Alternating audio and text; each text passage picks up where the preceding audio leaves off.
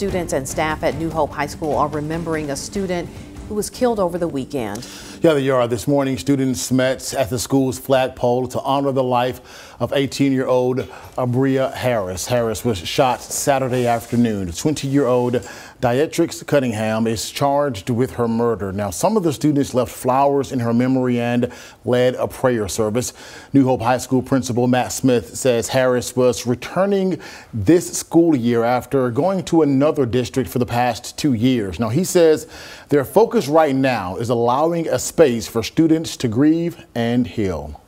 The student body at New Hope High School is, is broken right now and we appreciate all the love and support that this community and the entire county has shown for our students and this family.